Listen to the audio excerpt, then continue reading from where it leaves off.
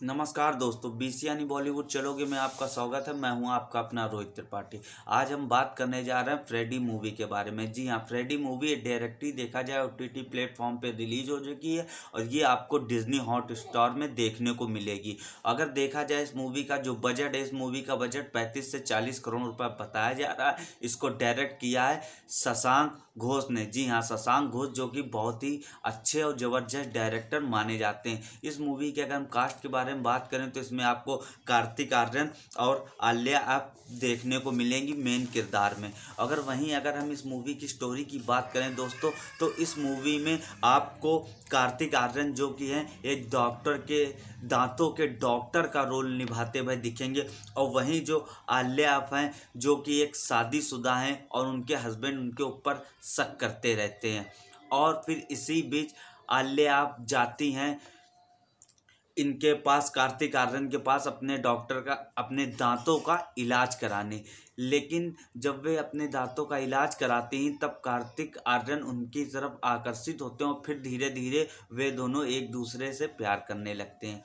लेकिन कार्तिक आर्यन को उनके पति पे काफ़ी गुस्सा आता है क्योंकि आलिया का जो पति होता है, वो उसको बहुत मारता है। फिर कार्तिक आर्यन उसका मर्डर कर देते हैं और वे मर्डर करने के बाद चुपचाप अपने गाँव चले जाते हैं कुछ दिन के लिए। लेकिन जब वे गाँव से लौट के आते हैं तो देखते हैं कि वे लड़की ने उनके साथ धोखा किया है। उसका ऑलरेडी एक बॉयफ्रेंड रहता है। इसलिए कार्तिक आर्यन अपना बदला लेने के लिए कुछ पिक्चरों में दिखाते हैं कि वह किस तरीके अपना बदला ले रहे हैं। और ये मूवी जो है, पूरी एक सस्पेंस मूवी है और ये मूवी एक बार आपको ज़रूर देखनी चाहिए क्योंकि ये मूवी आपको लास्ट तक बांधे रखती है और पूरी मूवी में सस्पेंस रहता है कि अब क्या होगा, फ़िल्म में अब क्या होगा। और ये मूवी आपको बिल्कुल लास्ट तक बैठने पे मजबूर कर देती। और जहाँ देखा जाए इस मूवी की कहानी, इस मूवी की कहानी देखा जाए, बहुत ही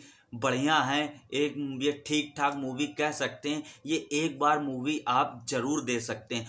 दोस्तों, जिसने ये मूवी देखी हो, मुझे कमेंट में बताइए कि ये मूवी कैसी लगी। और जिसने नहीं देखी हो, वो डिज्नी हॉट स्टार में एक बार ये मूवी देख सकता है, क्योंकि ये मूवी एक बार देखने के लायक है ये मूवी फ़िलहाल, शुरुआत में इस मूवी में ज़रूर थोड़ा बहुत पंद्रह बीस मिनट आपको थोड़ा मतलब ये रहेगा कि पिक्चर कैसी है, बकवास है। लेकिन उसके आधे घंटे बाद ये मूवी आपको मतलब बांधे रखेगी और फ़िल्म के एंड तक ये मूवी दोस्तों आपको बांधे रखेगी। तो जिसने देखा वो मुझे कमेंट में बताए दोस्तों, और जिसने नहीं देखा वो देखे ये मूवी और मूवी देखने के बाद मुझे कमेंट में ज़रूर बताए। तब तक के लिए दोस्तों, नमस्कार बाय बाय